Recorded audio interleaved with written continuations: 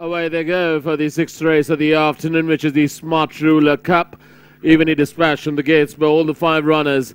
But as they sort themselves out, and it's uh, Smith and Wesson just the leader by about a length and a quarter in front of uh, Lord of the Seas in second place. Another length and a half away, there's Potus. A length away, Potus. There comes Multi Glory as they take the first right under turn towards the 1600 meter marker. Close to last, there's Cold Frontier.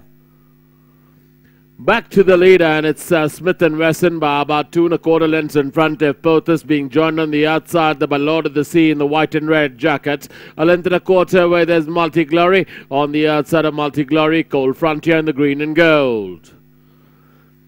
They approach and pass the 1400 meter marker, and it's Smith and Wesson by about a length and a half in front. And Lord of the Sea, who's moved up to be in second. Half a length on the inside is Potus. A length away, Potus. There's Multi Glory. On the outside of Multi Glory, there comes Cold Frontier.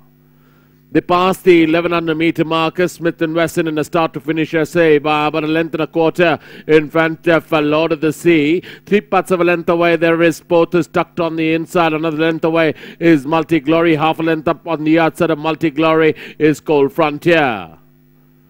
They pass the 800 meter marker and it's uh, Smith and Wesson. About a half a length up on the outside is Lord of the Sea. Another length away is Potus. On the outside of Potus there's Multi Glory and a close class there's uh, Cold Frontier bringing up the rear as they pass 600 meter marker.